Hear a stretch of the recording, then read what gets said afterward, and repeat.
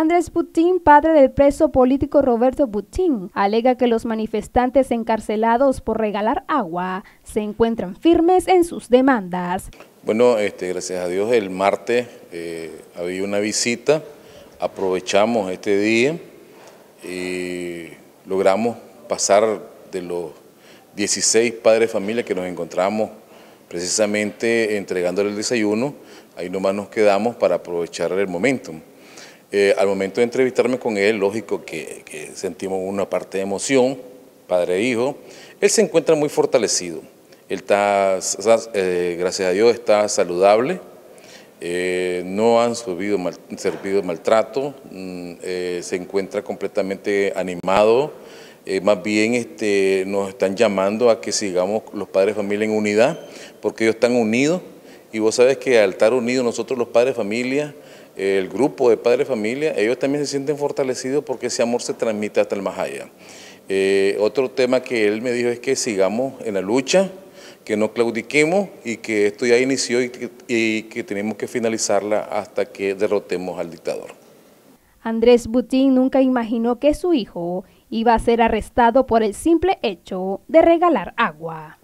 Bueno, sabemos que el de gobierno que tiene Nicaragua es completamente arbitrario, son parte de sus últimas patrañas que está dando. Eh, yo me siento orgulloso de él, eso es lo que puedo decir, porque en lo personal eh, yo he sido opositor al partido de gobierno de los años 90 y él se encaució en la lucha también desde muy niño y hoy veo los resultados de la continuidad de su lucha en contra de esta dictadura y este, eh, por razones políticas eh, mías, él se encausó, él sigue también en la lucha y la verdad es que eh, esto es como que se hereda, Y, felicitarlos a ellos como jóvenes porque son los que prendieron la chispa de esta rebeldía juvenil en abril del año pasado. Prácticamente desde que dieron inicio las protestas manifestándose en las.